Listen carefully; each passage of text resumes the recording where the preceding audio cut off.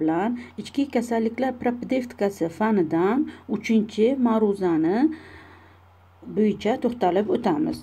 Demak uchinchi ma'ruzamizni mavzusi o'pka auskultatsiyasi asosiy va qo'shimcha nafas shovqinlari nafas tizimi xastaliklarida bemorlarni instrumental va laborator tekshirish usullari to'g'risida bugun sizlar bilan to'xtalib o'tamiz.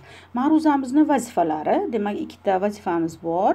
Birinchi vazifamiz o'pka auskultatsiyasi asosiy va qo'shimcha nafas shovqinlarini bugun sizlar bilan o'rganamiz. Ikkinchi vazifamiz nafas tizimi xastaliklarida bemorlarni laborator va asbobiy tekshirishlarda tashxis qo'yishda o'rni nimadan iborat? Mana shu ikkita vazifa bilan bugun sizlar bilan tanishib chiqamiz. Demak auskultatsiya biz bilamizki bu obyektiv tekshirish usuli ya'ni fizikal tekshirish usuli bo'lib hisoblanadi. Auskultatsiya ya'ni eshitib ko'rish ya'ni bu bevosita quloq e, yordamida eshitib ko'rish usuli bo'lib hisoblanadi. Auskultatsiyani birinchi fanga kiritgan olim demak bu fransiyalik anatom rene teofil ganset bo'lib hisoblanadi. Hozirgi vaqtda auskultatsiyada bevosita fonindoskop pediatriya hamda ginekologiya amaliyotida esa stetoskoplardan keng doirada foydalaniladi.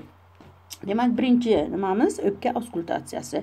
Demak normada sog'lom kishida biz auskultatsiya orqali o'pkada hosil bo'ladigan asosiy nafas shovqinlarini hamda patologiyada demak ma'lum bir o'pka kasalliklarida kelib chiqadigan patologik nafas shovqinlarini eshitishimiz mumkin. Demak birinchi asosiy nafas shovqinlaridan boshlaymiz. Demak o'pkada sog'lom kishida normada asosiy nafas shovqinlaridan vizgulyar hamda bronxial nafas eshitiladi demak vizikulyar umuman olganda o'pka auskultatsiyasini biz boshlashimiz uchun ma'lum bir talablar bo'ladi. Birinchi talab demak auskultatsiya o'tkaziladigan xona tinch osuda bo'lishi kerak. Auskultatsiyaga tashqi tomondan ham ichki tomondan ham hech qanaqa shovqinlar to'siqlar bo'lmasligi shart. Ikkinchi xona harorati iliq bo'lishi kerak. O'rtacha xona harorati yigirma ikki yigirma to'rt gradus atrofida bo'lishi kerak. Bemorimizni o'zi auskultatsiya o'tkaziladigan soha. Demak bugun o'pka auskultatsiyasi ekan. Aynan mana shu ko'krak qafasini demak diafragmadan yuqori qism o'pka e, ko'krak qafasi sohasi kiyimlardan xoli bo'lishi shart. Bemorimizni o'zi auskultatsiya o'tkazishga ruhan tayyor bo'lishi kerak. Shifokorimiz tomonidan qo'yiladigan talablar shifokor qo'llari iliq bo'lishi kerak hamda e, auskultatsiya o'tkazishni mohiyatini bemorga tushuntirgan bo'lishi shart. Demak vizikulyar nafasdan boshlaymiz. Vizikulyar nafas bu alveolar nafas ham deb yuritiladi. Bu bevosita hosil bo'ladi quyidagicha. Demak nafas olish vaqtida bronxlar orqali alveolalarga ma'lum bir ketma ketlikda havoning kirishi oqibatida alveolalarga bir barakayga havoni kirishi oqibatida demak tovushlar yig'indisi hosil bo'ladi. Mana shu hosil bo'lgan tovushlar yig'indisi birgalikda f tovushini eslatuvchi tovushni hosil qiladi. Mana shu hosil bo'lgan yumshoq f tovushini anglatuvchi bo'g'iq tovush bu vizikulyar nafas deb yuritiladi.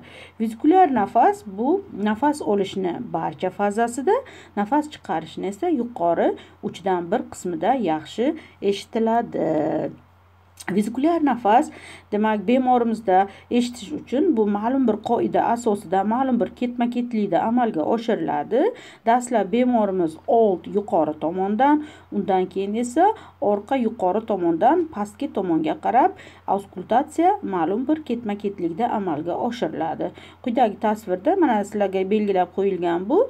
Demak auskultatsiyada mana shu nafas shovqinlarini ko'krak qafasida yaqqol eshitiladigan sohalari. Demak tasvirlangan. Vizikulyar nafas bu alveolada hosil bo'lganligi uchun alveolar to'qima o'pkada yaxshi rivojlangan sohalarda biz vizikulyar nafasni yaxshi eshitishimiz mumkin. Bu aynan to'g'ri keladi. Ko'krak qafasini pastki sohalarga ya'ni o'pkani quyi sohalarida biz vizikulyar nafasni yaxshi eshitishimiz mumkin. Xo'p, demak vizikulyar nafasni o'zgarishi bizda aynan diagnostik ahamiyati ham shundan iboratku, vizikulyar nafasni o'zgarishiga qarab turib, aynan o'pka kasalliklari to'g'risida ma'lumot olishimiz mumkin. Demak, patologik holatda vizikulyar nafas qanday o'zgaradi? Demak, patologik holatda vizikulyar nafas o'zgarishi bu kuchayishi mumkin yoki pasayishi mumkin. Demak, vizikulyar nafasni patologik holatda kuchayishdan boshlaymiz. Demak, e, patologik vizikulyar nafasni kuchayishini aytib o'tishdan oldin man sizlarga biroz qisqacha fiziologik vizikulyar nafasni kuchayishi haqida to'xtalib o'tmoqchiman. Vizikulyar e, nafasni fiziologik kuchayishi bu mana aytaylik o'sha yog' kletchatkasi sust rivojlangan kishilarda ham bemorlarda ham ko'krak qafasi o'sha qalinligi sust bo'lganligi uchun biz jarangdor vizikulyar nafasni eshitishimiz kerak. Mana shu yerda biz diqqatli bo'lishimiz kerak. Bemorda o'sha indeks ketlini ham aniqligini darajasini aniqlab olishga Xo'p, patologik vizikulyar nafasni susayishi quyidagi holatlarda kuzatiladi. Demak, birinchisi dag'al vizikulyar nafas. Dag'al vizikulyar nafas bu bevosita mana shu mayda bronxlarda patologik jarayon bo'lganda, mana kichik kalibrdagi bronxlar bu bronxiola deb yuritiladi. Mana shu bronxiolalarning shilliq qavati yallig'langan vaqtga biz bronxialit deymiz yoki aytaylik bronxospazm ko'proq mana shu bronxial astma kasallikda kichik bronxlarda spazm kechadi. Mana shu bronxospazm holatlarda bemorlarimiz nafas bo'lgandan keyin nafas chiqarish bosqichida mana shu havo qiynalib chiqishi hisobidan nafas chiqarish ham kuchli bo'ladi ham davomli bo'ladi. Mana shu vaqtda biz dag'al vizgular nafasni eshitishimiz mumkin. Agar mana bu yerda agar e, tasvirda ahamiyat beradigan bo'lsangizlar pastda normal vizgular nafas yuqorida esa dag'al vizgular nafasni formulasi ko'rsatilgan. Mana biz normada vizgular nafasni formulasini aytib o'tdik. Bu nafas olishni barcha fazasida va nafas chiqarishni yuqori uchdan bir qismida eshitilishi kerak dedik. Dag'al vizikulyar nafasda esa mayda bronxiolalarda spazm bo'lganligi uchun bemorlarimizda nafas chiqarish fazasi uzayib ketadi davomli bo'ladi. Shuning uchun mana ko'ryapsizlar demak uzaygan nafas chiqarishni davomli uzayganligini biza bevosita tasvirda ko'rishimiz mumkin. Keyingi patologik vizikulyar nafasni kuchayishi bu sakkadirlangan vizikulyar nafas deb yuritiladi. Sakkadirlangan vizikulyar nafas bu ko'proq bemorlarimizda nafas olish fazasida kuzatiladi. Bu normada ham bo'lishi mumkin patologik holatlarda ham bo'lishi mumkin. Normada ko'pincha bu mana shu sovuq xonada uzoq muddat qolib ketganda yoki sovuq havoda sovuq o'tgan holatlarda kuzatilishi mumkin. Patologik holatlarda bu o'sha nafas aktida qatnashuvchi asosiy va qo'shimcha nafas muskullarini yallig'lanishi hisobidan bo'lishi mumkin yoki sil kasalliklarida kuzatilishi mumkin. Bunda qanday bo'ladi? Bunda o'sha bemorlarimizda nafas olgan vaqtda nafas uzuq yuluq qisqa va sezilarsiz tanaffuslar bilan kechadi.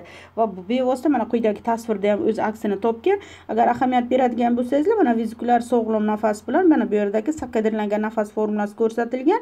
Mana bu yerda mana shtrixlar bilan belgilangan mana uzuq yuluq nafas olish ma'lum bir qisqa pauzalar bilan bemorlarimizda ko'rsatilyapti. Bu bevosita o'sha mushaklarni yallig'lanish hisobidan yoki aytaylik ma'lum bir o'sha silkasi infiltratsiya hisobidan bu bevosita bizada bemorlarimizni nafas olishda ma'lum bir pauzalar bilan nafas olish ko'rsatilmoqda kuzatilyapti. Xo'p, demak vizikulyar nafasni susayishi. Vizikulyar nafasni susayish ham o'z navbatida fiziologik va patologik bo'lishi mumkin. Fiziologik vizikulyar nafas qachon sust eshitiladi? Bu bevosita o'sha semizlik rivojlangan, metabolik sindrom rivojlangan bemorlarimizda yoki o'sha sog'lom aholi qatlami tana massasi yuqori bo'lganda kuzatilishi mumkin. Bu bevosita o'sha ko'krak qafasini qalinlashishi hisobidan biz o'sha o'pka to'qimasini eshitgan vaqtimizda e, vizikulyar nafasni sust eshitishimiz mumkin. Patologik holatlarda, ya'ni yana o'pka to'qimasida ma'lum bir turkum kasalliklar kuzatilganda vizikulyar nafasni susayishi mumkin. Buni bir nechta sabablari bor. Birinchisi bu alveolar sabablar. Alveolar bu bevosita o'sha alveolar sonini kamayishi hisobidan kelib chiqishi mumkin yoki nafas olgan vaqtga alveolar devorini yetarlicha cho'zilmasligi kengaymasligi hisobidan ham vizikulyar nafas sust eshitilishi mumkin. Ikkinchi sababi bu bevosita alveolarga bog'liq bo'lmagan. Ekstra alveolar sabablar bo'lib hisoblanadi. Bu bronx devoriga bog'liq bo'lishi mumkin. Mana spazm bronxospazm deymiz yoki aytaylik o'sha ichki qismi eksudat yoki yopishqoq balg'am bilan to'lgan bo'lishi mumkin bronxni mana shu holatlarda kelib chiqishi mumkin yoki aytaylik miozit kasalligida ya'ni o'sha mushaklarni nafas aktida qatnashuvchi muskullarni yallig'lanish hisobidan faol qatnashmaydi nafas aktida yoki nevralgiya holatlarida ham. Demak vizikulyar nafas sust eshitilishi mumkin. Demak mana quyidagi tasvirda vizikulyar nafasni susayishni bir qancha patologik e, ko'rsatkichlari ko'rsatib o'tilgan. Agar mana pastki suratdan boshlaymiz mana agar ahamiyat beradigan bo'lsangizlar gidrotorks kasalligi. Demak gidrotorks kasalligi bu bevosita mana suv yig'ilishi plevra bo'shlig'ida suv yig'ilishi mumkin gematorkis mana qon yig'ilishi mumkin yoki eksudativ plevrit kasalliklari mavjud eksudativ plevritda bevosita o'sha plevra varaqlari yallig'lanishi hisobidan u yerda eksudatli suyuqlik to'planadi demak bevosita qancha ko'p miqdorda o'sha plevra varaqlarida suyuqlik to'planib borsa shuncha demak bu o'sha o'pka to'qimasini qisib qo'yadida ya'ni o'sha alveolar atrofiya bujmayishiga olib keladi va bemorlarimiz o'sha nafas olgan vaqtda kasallangan o'pka tomonda alveolalar yetarlicha ochilmasligi hisobidan vizikulyar nafas sust eshitiladi ya'ni kasallangan tomonda. Ikkinchi mana yuqoridagi tasvirda agar ahamiyat beradigan bo'lsangizlar pnevmotorks kasallik ham bevosita vizikulyar nafasni susayish sababi bo'lib hisoblanadi. Pnevmotorks bu plevra varaqlari orasiga havo to'planishi bo'lib hisoblanadi. Bu tasvirda ochiq pnevmotoriks ko'rsatilgan ochiq pnevmotoriks bu ko'krak qafasini teshilishi mexanik jarohatlar e, natijasida kelib chiqishi mumkin. Bu yerda o'sha bevosita plevra varaqlari orasiga tashqaridan havo kirishi hisobidan bu o'sha o'pka to'qimasini qisib qo'yadi va o'pka to'qimasi qisilishi hisobidan alveola bujmayib atrofiyaga uchrab qolishi mumkin bir biriga alveolalar yopishib qolishi mumkin. Natijada bemorimiz nafas olgan vaqtda kasallangan tomonda o'sha alveolalar yetarli ochilmasligi hisobidan cho'zilmasligi hisobidan kasallangan tomonda vizgulyar nafasni biz deyarli sust eshitishimiz mumkin. Keyingi sababi bu o'pka emfizemasi bo'lib hisoblanadi. Aynan o'pka emfizemasi kasalligida ham bemorlarimizda vizgulyar nafas sust eshitiladi. Demak o'pka emfizemasi bu birlamchi yoki ikkilamchi bo'lishi mumkin. Emfizema qanaqa kasallik? Mana bu yerda sog'lom alveolar bilan bu e, tushunish uchun taqqoslash maqsadida e, ko'rsatilgan. Demak o'pka emfizemasi bu mana shu alveolalar bir nechta alveolalar to'siqlarni yemirilishi oqibatida bir nechta alveolalar qo'shiladida bitta kavernani hosil qiladi va mana shu kavernada demak yetarli havo almashinuvi bo'lmaydi. Mana bu sog'lom alveola desa har bitta alveola o'zini to'siq membranasiga ega bo'lishi kerak. Emfizema kasalligida esa bir nechta alveolalarni orasidagi to'siqni yemirilib demak bitta kavernani hosil qiladi va ko'krak qafasi emfizematozni bochkasimon ko'rinishni egallaydi. Mana shunday holatlarda bemorlarimizda demak o'sha nafas olgan vaqtda yetarli o'sha ko'krak qafasi alveolalarini birinchidan sonini e, yetishmovchiligi miqdorini kamligi hisobidan yetarli cho'zilmasligi hisobidan demak e, o'pka emfizemasi bilan og'rigan bemorlarimizda vizikulyar nafas sust eshitiladi.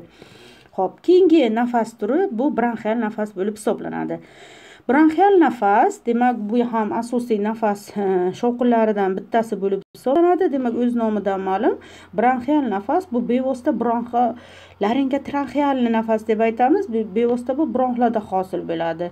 Demak bronxial nafas bu bevosita nafas olgan vaqtda havoning ovoz bo'ylamlari yorug'dan o'tishi natijasida havoning turbulent harakati natijasida e, hosil bo'ladi. Va mana shu havo bevosita butun bronx devori bo'ylab tarqaladi. Va bronxial nafas bu baland jarangli bo'ladi. Hamda bu o'sha x talaffuzidagi tovushni anglatadi. Agar biz bronxial nafasni vizgulyar nafas bilan agar qiyoslaydigan bo'lsak mana vizgulyar nafas e, nafas olish fazasidan barcha bosqichida yaxshi eshitilardi. Bronxial nafas mana teskarisi yuqori nafas olishni yuqori uchdan bir qismida nafas chiqarishni esa to'liq fazasida eshitilyapti. Ikkinchi farqi e, bronxial nafas jarangdor bo'ladi baland bo'ladi. Hamda nafas olish bilan nafas chiqarishni orasida ma'lum bir pauza bo'ladi. Vizgulyar nafasda esa nafas olish va nafas chiqarish orasida pauza bo'lmasda mana shular bilan ham ajralib turadi. Ho'p bronxial nafasni patologik o'zgarishi. Demak bronxial nafasni patologik o'zgarishlardan bittasi bu amforik nafas bo'lib hisoblanadi. Demak amfora bu ko'za degan ma'noni bildiradi. Demak e, bronxial nafasning mazkur turida demak mana shu o'pkada besh olti santimetrli havoli bo'shliq yoki suyuqliksiz bronx bilan e, tutashgan bo'shliq bo'ladi. Bu bo'shliq qachon hosil bo'ladi? Mana o'pka absesi bilan og'rigan bemorimiz yoki bronxoektaz kasalligi bilan og'rigan bemorimiz. Mana shunday o'pka absesi bilan og'rigan bemorlarimizda abses yiringli bo'shliq to'liq tozalangandan keyin u yerda ma'lum bir kaverna qoladi. Va mana shu nafas olgan vaqtida havoni bronxdan kavernaga o'sha ko'zaga o'tishi natijasida biz mana shu yerda bir ko'zani puflaganda eshitiluvchi tovushni sezamiz. Mana shu hosil bo'lgan tovush amforik nafas deb yuritiladi. Demak amforik nafas bu ko'proq o'sha bronxo o'pka e, kasalliklari ya'ni bronxo ektasi kasalligida yiringli bo'shliqdan tozalangandan keyin yoki o'pka absesini mana shu yiring to'liq ikkinchi davrida yiring to'liq tozalangandan keyin biz amforik nafasni eshitishimiz mumkin. Ho'p demak vizikulyar va bronxial nafas shovqinlari demak qisqacha manimcha tushunarli bo'ldi. Demak bir birovda endi farqini bir yana bir eslab olamiz vizikulyar va bronxial nafasni. Demak vizikulyar nafas kelib chiqish mexanizmi bilan farqlanadi. Birinchidan vizikulyar nafas bu alveolar devorini tebranishi ya'ni nafas olgan vaqtida alveolar devorini kengayishi hisobidan hosil bo'lsa bronxial nafas bevosita demak havoning ovoz bo'ylamlari to'r yorug'dan o'tishi natijasida hosil bo'ladi. Ikkinchi farqi nafas fazasiga bog'liq holatda vizikulyar nafas biz aytdik nafasni olishni to'liq fazasida eshitiladi ya'ni bu inspirator deb yuritiladi. Bronxial nafas esa nafas chiqarish fazasida yaxshi eshitiladi bu ekspiratorni deb yuritiladi. Eshitilish sohasi bilan farqlanadi demak vizikulyar nafas o'pkani quyi qismlarida yaxshi eshitilsa bronxial nafas o'pkani e, yuqori qismlarida ya'ni bronxial daraxt yaxshi o'sha bo'r sohalarda yaxshi eshitiladi. Shovqinni agar harflarga nisbatan farqlaydigan bo'lsak vizikulyar nafas yumshoq bo'g'iqroq f tovushini beradi. Bronxial nafas baland jarangdor bo'ladi va bu x tovushini eslatadi. Xo'p, biz o'pka auskultatsiyasida nafaqat asosiy nafas shovqinlarini, balki mana shu o'pkani nafas tizimini ma'lum bir xastaliklarida ularda hosil bo'lgan shovqinlarni ham auskultatsiya yordamida eshitishimiz mumkin. Demak, patologik nafas shovqinlarini birinchisi bu xirillashlar deb yuritiladi. Xirillashlar e, bevosita o'sha jarohat bronxlarda kuzatilgan holatlarda aytaylik, o'sha bronxit kasalligi bo'ladimi, bronx obstruktiv bronxit holatlari bo'ladimi yoki aytaylik bronxoektaziz kasalligi bo'ladimi endobronxial o'sma holatlari bo'ladimi? Umuman jarohat bronxlarda kechganda biz auskultatsiyada o'pkada xirillashlarni eshitamiz. Ikkinchisi yana bitta holat bu krepitatsiya bo'lib hisoblanadi. Qachonki bu? Agar o'pka to'qimasini alveolar qismi jarohatlanganda alveolit bo'lishi mumkin pnevmoniya ko'pincha alveolar zararlanadi yoki kichik qonlanish doirasida dimlanish bo'lganda alveolar suyuqlik bilan to'ladi mana shu holatlarda biz o'pkada krepitatsiyani eshitamiz. Keyingi patologik nafas shovqini bu plevra ishqalanish shovqini bo'lib hisoblanadi. Plevra ishqalanish shovqini albatta eshitilishi uchun jarohat plevra varaqlarida bo'lishi kerak. Aytaylik quruq plevrit holatlarida demak ikkita plevra varaqlarini bir biriga ishqalanishi hisobidan biz patologik plevra ishqalanish shovqinini eshitishimiz mumkin. Demak xirillashlardan boshlaymiz. Xirillash demak patologik jarayon mana aytib o'tdim asosan bronxlarda kuzatiladi. Demak xirillashlarni ikkita turi farqlanadi. Bu birinchisi quruq xirillashlar ikkinchisi nam xirillashlar. Quruq xirillashlar demak bu bevosita o'z navbatida baland va past chastotali xirillashlarga ajratiladi. Nam xirillashlar esa bronxni kalibriga mos holatda mayda o'rta va yirik pufakchali nam xirillashlarga ajratiladi. Demak quruq xirillashlar quruq xirillashlar bo'lishi uchun birinchi navbatda bronxlarda to'rayish bo'lishi kerak. Demak o'sha spazm bo'lishi kerak. Ikkinchi navbatda bronxni ichki qismida demak quyuq yopishqoq qiyin ajraluvchi balg'amni yopishib qolishi hisobidan va bronx devorini to'rayishi hisobidan havoni o'sha qiyin turbulent harakat bilan o'tishi hisobidan bu yerda tovush paydo bo'ladi. Mana shu tovush quruq xirillash deb yuritiladi. Demak quruq xirillashni baland yoki past chastota kalibri bu bronxni kalibriga bog'liq. Aytaylik yirik bronx. Yirik bronxda mana to'rayish bo'lgan vaqtda ham uni ichki hajmi katta bo'lganligi uchun bu yerda havo nisbatan qiyinlik bilan o'tadi. Shuning uchun ham bu yerda xirillash baland eshitilmaydi. Demak yirik bronxlarda past kalibrdagi quruq xirillashlarni eshitishimiz mumkin. Qancha bronx devori to'rayib borsa uni ichki hajmi qanchalik qisqarib borsa shuncha tovushni qiynalib o'tishi hisobidan xirillashni chastotasi balandligi shuncha kuchayib boradi. Mana bronxiola eng kichik bronx. Demak ichki tomoni yallig'langan yoki aytaylik spazmga uchragan. Demak o'zi kichik bronx kalibr yana u spazmga uchragan va torayib qolishi hisobidan havo u yerda judayam qiyinlik bilan o'tishi hisobidan u yerda baland chastotali biz quruq xirillashlarni eshitishimiz mumkin. Mana bronxial astma kasalligi bronxial astma kasalligida biz bilamizki aynan kichik mayda bronxlarda spazm ketadi kichik kalibrdagi bronxlarda. Aynan kichik kalibrdagi bronxlarda kuchli spazm bo'lishi natijasida biza даже auskultatsiya usulini qo'llamasdan turib ham bemorimizda masofadan turib quruq hushtaksi muhrlashlarni eshitdik mana palatada kirib ham o'zlaringiz bevosita ko'rib eshitgansizlar demak masofadan turib ham quruq hushtaksi muhrlashlarni eshitishimiz mumkin bu. Aynan o'sha bevosita kichik kalibrdagi bronxlarni spazmga uchrashi hisobidan kelib chiqadi. Keyingi xirillash bu e, nam xirillashlar bo'lib hisoblanadi. Nam xirillashlar ham bu bronxni kalibriga bog'liq. E, nam xirillashni hosil bo'lishi uchun o'ziga xos talab bo'lishi kerak. Bu birinchisi. O'sha bronxni ichki qismida suyuqlik bo'lishi kerak. Ya'ni eksudat qon yoki yiring bo'lishi kerak. Aynan mana shu e, nafas o'tadigan vaqtga mana shu suyuqlik e, nafas olgan vaqtga demak bronx yo'lidagi suyuqlik ta'sirida u yerda pufakcha hosil bo'ladi. Mana shu pufakcha keyinchalik yorilishi nafas chiqarishda yorilishi hisobidan u yerda tovush hosil bo'ladi. Mana shu tovush nam xirlash deb yuritiladi. Demak bronxni kalibriga qarab demak e, mana yirik bronx yirik bronxda suyuqlik bo'lsa nafas olgan vaqtda katta bronxda katta hajmdagi pufakcha hosil bo'ladi va mana shu pufakcha yorilgan vaqtda baland chastotali tovush hosil bo'ladi. Kichkinagina bronxiyollarda demak pufakchani hajmi ham shunchalik kichik bo'ladi va u yerda e, kichik e, pufakchani yorilishi hisobidan demak uni chastotasi ham past bo'ladi. Demak bu quruq xirlashga teskari holatda yirik kalibrdagi bronxlarda biz demak demak e, yirik e, pufakchali nam xirlashlarni eshitishimiz mumkin. O'rta kalibrdagi bronxlarda o'rta kalibrdagi xirlashlarni va mayda bronx bronxiyolalarda biz milk puzurchati deymiz mayda pufakchali nam xirlashlarni eshitishimiz mumkin. Mana yana osonroq tushunish bo'lishi uchun mana oddiy nay. Mana bolalarda agar nol besh e, litrli agar e, soklarini ko'rgan bo'lsangizlar o'sha mm, sokni yarmi to'kib yuborilgandan keyin o'sha naycha bilan agar biz sokni ichiga puflasak u yerda pufakcha hosil bo'ladi buzurkichalar ko'rgansizlar. Mana shu pufakchalarni keyinchalik o'sha yorilishi hisobidan u yerda tovush paydo bo'ladi demak nam xirlash ham xuddi shunday. Nam xirlashda o'sha nafas olgan vaqtda bronxlarda to'plangan suyuqlikda pufakchalarni yorilishi hisobidan bu yerda demak tovush paydo bo'ladi mana shu tovush bu nam xirillash deb yuritiladi.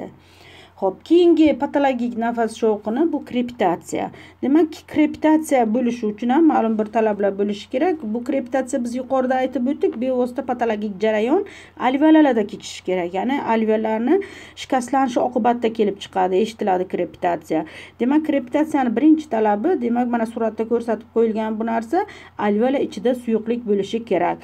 Demak, alveola ichida suyuqlik normada sog'lom o'pkada bo'lmaydi, u yerda havo almashinuvi borishi kerak. Demak, ma'lum bir patologik jarayonlarda alveolar suyuqlik bilan to'ladi. Bu qaysi kim bu kasallik mana kichik qon aylanish doirasida e, dimlanish bo'lgan holatlarda bu bevosita yurak patologiyasi bo'lishi mumkin yoki patologiya bo'lishi mumkin. Mana shu kichik qon aylanish doirasida dimlanish bo'lgan vaqt kapillyarlar o'tkazuvchi o'shadida kapillyar o'sha qonni qismi bevosita alveolar ichiga sizib yoki pnevmoniya kasalligi o'pka to'qimasi yallig'langan holatlarda ham demak kapillyarlarni o'tkazuvchanligi oshadida uni ichiga sizib chiqadi. Mana shu holatlarda alveolar ichi suyuqlik bilan to'lishni boshlaydi. Mana shu alveolar ichi suyuqlik bilan to'lishi bo'lgan holatlarda biz bemorlarni o'pka to'qimasini eshitib ko'rgan vaqtimizda bemor nafas oladigan vaqtga havoni alveolaga kirishi hisobida u yerda suyuqlik to'lqini hosil bo'ladi va mana shu suyuqlik to'lqini ta'sirida alveolar kengayib u yerda ma'lum bir mm, tovushni hosil qiladi va mana shu hosil bo'lgan tovush krepitatsiya deb yuritiladi. Demak krepitatsiya yana bir takrorlab o'taman. Albatta krepitatsiya eshitilishi uchun alveola ichida suyuqlik bo'lishi shart. Xo'p, demak, krepitatsiya induks va krepitatsiya reduks farqlanadi. Krepitatsiya induks bu nima? Boshlanayotgan krepitatsiya degani. Reduks tuzalayotgan krepitatsiya. Xo'p, pnevmoniya kasalligi bilan og'rigan bemorlarimizda kasallikning 3-5 kunlarida agar biz eshitib ko'rsa krepitatsiya eshitiladi. Biz uni krepitatsiya induks deb nomlaymiz, chunki hali kasallik endi boshlanyapti. Alveola ichiga suyuqlik endi kirib boryapti. Kasallikning 15-16 kunida yoki bemorlar dori-darmonlar bilan davolanish boshlagandan keyin suyuqlik sekinlik bilan dorilar ta'sirida nima qila boshlaydi? Surilishni boshlaydi. Alveolarlarda suyuqlik miqdori kamayib boradi va mana shu vaqtda yana biz bemorni o'pka to'qimasini eshitib ko'rgan vaqtimizda yana krepitatsiya eshitishimiz mumkin. Mana bu vaqtda biz buni endi krepitatsiya redukus yoki tuzalayotgan krepitatsiya deb nomlaymiz. Ho'p keyingi mana slaydda agar ko'radigan bo'lsak bu yerda bevosita nam xirlash bilan krepitatsiyani farqlari ko'rsatilgan ko'pincha mana mayda pufakchali nam xirlashlar bilan krepitatsiyani farqlash juda yam qiyin. Chunki nam xirlashlar merki puzurchati mayda pufakchali nam xirlashlar bu o'pka to'qimasini ichida bronxiyalar joylashganligi uchun mayda pufakchali nam xirlashda ko'pincha anglashilmovchilik beradi. Bu uchun biza ma'lum bir ikki uchta agar kriteriyalarni farqli bilsak buni hech qanaqa e, farqlash qiyin emas. Demak man mana shu yerda hozir aytib o'tmoqchiman ikki uchta farqli kriteriyalarni birinchidan nam xirlashlarni yirik bo'ladi va dag'al qo'polroq bo'ladi. Krepitatsiya alveolada bo'lganligi uchun u demak yumshoqroq bo'ladi va mayda bo'ladi. Ikkinchidan yo'tal e, aktiga e, qarab biz farqlashimiz mumkin. Bemorlarda yo'talish akti buyuriladi va mana shu yo'talish akti buyurilgan vaqtda yo'talgacha namxirlash eshitiladi. Yo'talgandan so'ng esa namxirlash yo'qoladi. Chunki yo'talgan vaqtga pufakcha yoriladida namxirlash yo'qoladi. Krepitatsiya yo'talga bog'liq emas chunki bu alveolada kechyapti jarayon. Keyingisi namxirlashlar obstruksiya bilan bog'liq ya'ni bronx bo'shlig'i ichida demak suyuqlik bo'lishi kerak dedi. Krepitatsiya bu restruksiya tashqaridan alveolani qisilishi mana aytdik o'sha e, alveolar to'qima kapillyarlar o'tkazuvchanligini oshishi hisobidan aytaylik o'pka to'qimasi yallig'langan bo'lishi mumkin yo dimlanish bo'lishi mumkin. Bu yerda o'sha kapillarlar o'tkazuvchanligi alveolani ustini qoplagan kapillarlarni o'tkazuvchanligini oshishi hisobidan kapillarnida qonni suyuq qismi alveola ichiga sizib chiqadi. Alveola ichiga sizib chiqib suyuqlik bilan to'ladi restruksiya. Natijada bu yerda biz krepitatsiya eshitishimiz mumkin. Agar mana shunaqa bir uchta to'rtta agar biza kriteriylarni bilsak hech qanaqa krepitatsiyani nam xirlashdan farqlash qiyin emas.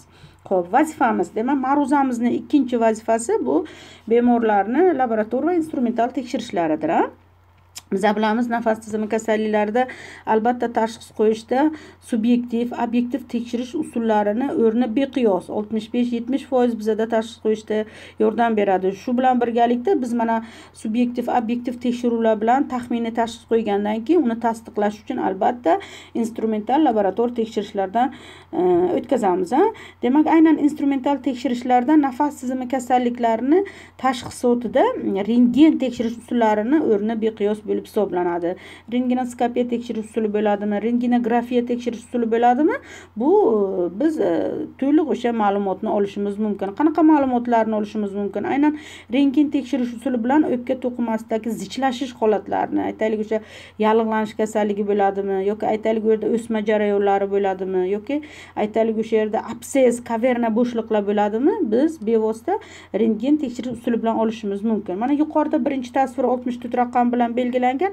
Agar ahamiyat bergan bo'lsangizlar aylana krugli chegaralangan soyani ko'ryapsizlar. Bu o'pka absesi bilan og'rigan bemorimiz. Demak mana chegaralangan yiringli bo'shliq mana suyuqlik sathi ham ko'rinib turibdi agar e'tibor bersangizlar. Demak biz bevosita mana shu o'pka absesi bo'ladimi kaverna sil kasalligidan keyin qolgan bo'ladimi yoki aytaylik bronxa ektasi kasalligida xaltasimon bronxni bir qismi kengayadimi biz bevosita o'sha rentgen tekshirish usuli bilan buni aniqlashimiz mumkin. Bronxlarni rentgen tekshirish bu bronxografiya deyiladi. Bevosita kontrast modda bilan biz aniqlaymiz.